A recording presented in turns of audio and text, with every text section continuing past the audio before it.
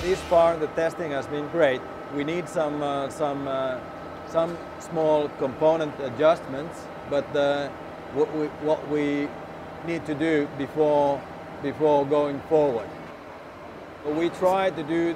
as good uh, workshop testing as possible with the final mechanics so that we really know that all the, all the assembly and all the electronic uh, wiring and all the control system what is installed here is correct and working as we really want.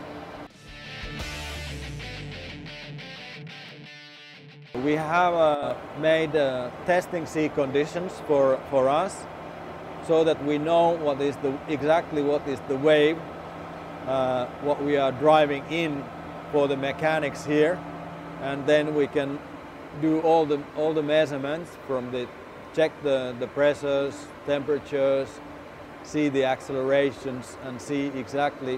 what is the response. And also from the electrical side, we know that what is the, what is the, what is the power fluctuation and how the inverter is working and, and,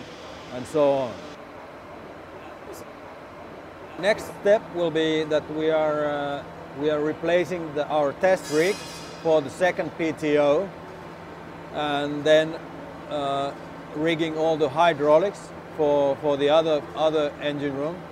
and then repeating the test for the second one. When the unit is leaving from here to the yard